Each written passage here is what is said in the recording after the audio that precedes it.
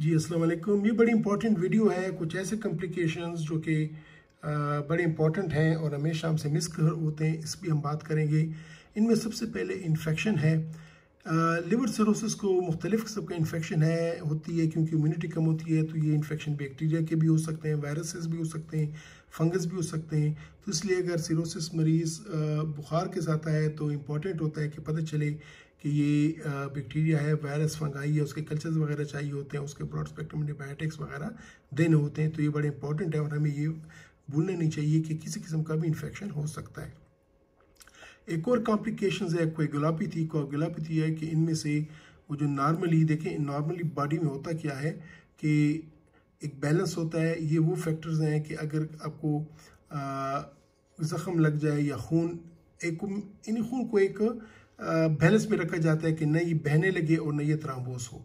तो अगर जैसी बहना बहना आता है तो, तो बहने लगता है तो कोगुलेशन का फैक्टर सामने आ जाता है कोगुलेशन का प्रोसेस सामने आ जाता है और फिर उसको त्राम्बोस करके त्राम्बोस बना के ब्लीडिंग को स्टॉप करता है।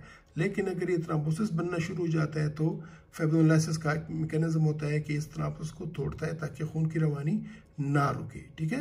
तो ये रेगुलेटरी मैकेनिज्म नॉर्मल बंदे में होती है, या हम सब के बंदे में होती है, ठीक है? This a balance between coagulation and fibrinolysis ठीक है? लिवर सिरोसिस में ये बैलेंस बराबर ही है, ये नॉर्मल बंदा है, ये लिवर सिरोसिस का है, ये प्रो कोगुलेंट फैक्टर्स हैं जो कि कोगुलेशन वाले फैक्टर्स हैं, ये फेब्रोनोलाइसिस वाले फैक्टर्स हैं। तो लिवर में ये दोनों होते हैं बैलेंस होता है, लेकिन इनकी मकदार कम होती है। तो थोड़ा सा भी कोई ड्रग दी, कोई इम्बेलेंस हुआ तो ये फ़ौरन ही एक दूसरे की तरफ़ लुढ़क चलते हैं। तो इनमें कोगुलापैथी का चांस ज़्यादा होता है, या तो ब्लीडिंग शुरू हो जाती है, या फिर थ्राम्बस बन जाता है, जिस तरह के हम देखते हैं पोर्टल में थ्राम्बोसिस ठीक है? तो ये बड़ा इंपॉर्टेंट है कि हमें पता चले कि आया ये आ, आ, आया कोई कोगुलेशन तो नहीं हुई या ब्लीडिंग तो नहीं हुई और ये फिर आप ज़रा डिटेल में देख लेंगे। मैंने आपको इस फ़ाइल भेजी है कि क्या क्या फैक्टर्स होते हैं और किस तरह ये चीज़ होती है। तो ये इंपॉर्टेंट है कि जब हमारे पास एक पेशेंट आता है तो सबसे इम्पोर्टेंट क्लिनिकल ये होता है कि हम देखते हैं कि आया इसका पोर्टल थ्राम्बोसिस तो नहीं है।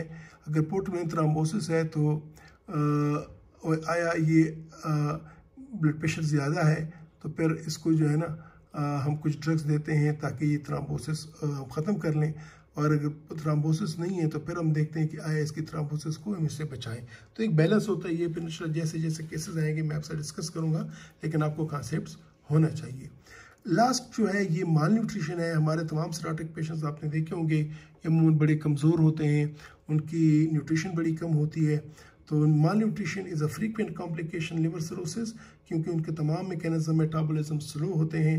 इट प्रीडिस्पोजेस टू इन्फेक्शन इसकी वजह से इन्फेक्शन होती है हेपेटिक एंसेफेलोपैथी होती है और एसाइटिस बनती है। तो इसको हमें एड्रेस करना चाहिए ताकि हमारे पेशेंट इन्फेक्शन डेवलप ना करे इंसेफेलोपैथी में ना जाए और एसाइटिस डेवलप ना करे।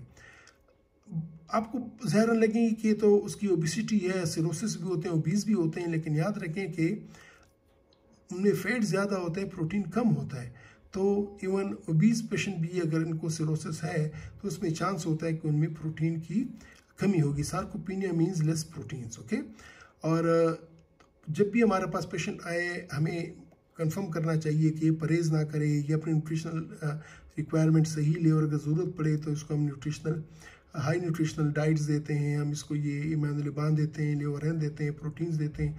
ताकि इसकी न्यूट्रिशन अच्छी रहे और जब न्यूट्रिशन अच्छी होगी तो होगा क्या कि इस पेशेंट्स को इन्फेक्शन नहीं होंगे इंसेफेलापैथी में नहीं जाएगा और इसको साइटिस डेवलप नहीं होगी ठीक है? तो ये तीन ऐसे फैक्टर्स है जो हमें भूलने नहीं चाहिए और सिरोटिक के मरीज़ में हमें देख लेनी चाहिए। तो thank you very much again छोटी सी आ, एक वीडियो थी लेकिन दिस वॉज़ इंपॉर्टेंट और इस पे हमारे कॉम्प्लिकेशंस पूरे हो गए अब एक और जो इम्पोर्टेंट सिनेरियो है, वो acute on chronic liver failure इसकी वीडियो अभी आएगी, फिर आपके पास आ रही है इनशाला जी। Okay thank you very much